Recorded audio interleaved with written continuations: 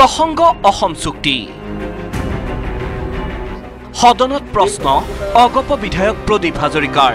এতিয়া কথা হ'ল যে ছিক্সটি ছিক্সলৈকে কিমান মানুহ ফৰেনাৰ হিচাপে ওলালে যিখিনি ৰেগুলাইজ কৰা হ'ল সেইখিনি অসমৰ ৰাইজে জানিব লাগে। আৰু ছিক্সটি ছিক্সৰ পৰা ছেভেণ্টি ওৱানলৈকে কিমান মানুহ ৰেজিষ্ট্ৰেশ্যন কৰালে আৰু তেওঁলোকক ৰাখিলে ৰেষ্টৰ কৰিলে নে নাই সেইখিনি ৰেষ্টৰ হ'লনে নাই বা কিমান মানুহ সেই কথাটো ৰাইজে জানিব লাগে। আৰু তিনি নম্বৰটো হ'ল যিটো ছেফ গাৰ্ড ছেফ গাৰ্ডৰ ক্ষেত্ৰত কিন্তু উত্তৰটোত কোনো ধৰণৰ উত্তৰ ইয়াত অসম চুক্তিৰ ৰূপায়ণ দপ্তৰৰ মন্ত্ৰীৰ হৈ উত্তৰ মন্ত্ৰী কেশৱ মহন্তৰ। তেখেতে কৈছে গতিকে এই চাৰিটা দফা অনুসৰি যিখিনি কাম হৈছিল তাৰ তথ্যটো কেৱল বিদেশী ন্যায়াধীকৰণৰ পৰা ওলোৱা তথ্যৰ ভিত্তিতহে কিছু তথ্য পোৱা যায়। সেইটো হৈছে যে ঊনৈছশ ছয়ষষ্ঠি চনৰ এশ চনৰ পৰা এসত্তৰ চনৰ যিটো ষ্ট্ৰীম এইটোত বিদেশী নাগৰিকৰ কৰণৰ যিখন মানে ট্ৰিবুনেল ট্ৰিবুনেলত তাৰ এইটো সময়ৰ মানুহ ত্ৰিছ হেজাৰ দুশ আঠ আঠষষ্ঠিজনৰ কেছ গোচৰ হৈছিল। এই এফ আৰ আৰত যিটো পঞ্জীয়ন কৰা হৈছিল তাত হৈছিল চৈধ্য হেজাৰ ছশ বাৱন্নজন এই তথ্যটো কেৱল তাৰ পৰা পোৱা গৈছে।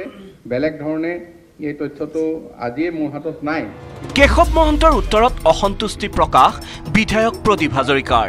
নাইনটিন ছিক্সটি ছিক্সলৈকে ফৰেনাৰখিনি পূৰা ইয়াত উলিওৱা হ'লনে নাই? আৰু সেইখিনিক ৰেগুলাইজ কৰিলে নে নাই? এই কথাটো পৰিষ্কাৰকৈ মই সুধিছোঁ। দ্বিতীয়টো হৈছে নাইনটিন ছেভেণ্টি ওৱানলৈকে ছিক্সটি ছিক্সৰ পৰা যিখিনি মানুহ সেইখিনি ৰেজিষ্ট্ৰেশ্যন কৰি পিছত তেওঁলোকক ৰেষ্টৰ কৰিব লাগিছিল। Whether this people have been restore আৰু total number of those foreigner what is the total number এই কথাটো মানে ইমান ভালকৈ পৰিষ্কাৰ হোৱা নাই। পুনৰ উত্তৰ দিবলৈ গৈ পূৰ্বৰ চৰকাৰক সমালোচনা মন্ত্ৰী কেশৱ মহন্তৰ। এতিয়া ক্লছ ছিক্সৰ ক্ষেত্ৰত সাংবিধানিকভাৱে কোনো ব্যৱস্থা হোৱা নাই প্ৰশাসনিকভাৱেও বৰ বেছি হোৱা নাই। অসম চুক্তিৰ যিখন ডাইৰেক্টৰেট সেই ডাইৰেক্টৰেটটোৱে সম্পূৰ্ণ নাছিল। ইয়াৰ আগতে মুখ্যমন্ত্ৰী ডাঙৰীয়া আহি অসম চুক্তিৰ দায়িত্ব লৈ নতুন ডাইৰেক্টৰেট নতুন অফিচ আৰম্ভ কৰিছে। এই কামটো নতুনকৈ আৰম্ভ কৰিব লগা হৈছে। গতিকে আজি এই মুখ্যমন্ত্ৰীক প্ৰশংসাৰে উপচাই পেলাই যেন নিজৰে ব্যৰ্থ উদঙাই দিলে মন্ত্ৰী মহন্তই। লগে লগে কংগ্ৰেছী বিধায়ক আব্দুল খালেকৰ প্ৰশ্ন অসম চুক্তিৰ ফচল অগপই দহ বছৰ শাসনত থাকি কি কৰিলে? প্লিজ আবেদন কৰিম নকৰিলে তুমি কোৱা প্লিজ আপোনালোকে please this will not go on record this things will not go on record road ছুটি কৰ্মী ৰোড ছুটি কৰ্মী উত্তৰ নোলাল। তাৰ পিছতে আৰম্ভ হ'ল সদনৰ সদা পৰিচিত জনপ্ৰতিনিধিৰ মুখ চুপতি।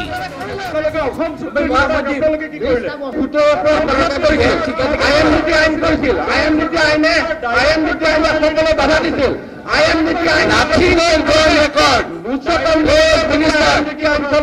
কৰিলে মাননীয় মুখ্যমন্ত্ৰী ডাঙৰীয়াই কেছ বাতিল কৰিলে নতুন কাম আৰম্ভ হৈছে এটা গুৰুত্বপূৰ্ণ প্ৰশ্ন। কিন্তু তাৰ কোনো সুদুত্তৰ নোলাল। অতিষ্ঠ হৈ অধ্যক্ষই বন্ধ কৰিলে সেই প্ৰশ্নৰ আলোচনা। কি হৈ আছে কি নাই হোৱা অসমৰ ৰাইজে জানে। ইয়ৰ ইয়ৰ হয়তো এনে স্পৰ্শকাতৰ বহু প্ৰশ্নৰ সঠিক উত্তৰ কোনোদিনেই নোলাব আমাৰ জনপ্ৰতিনিধিসকলৰ এনে আচৰণৰ বাবেই। Bureau report news eighteen Assam north east.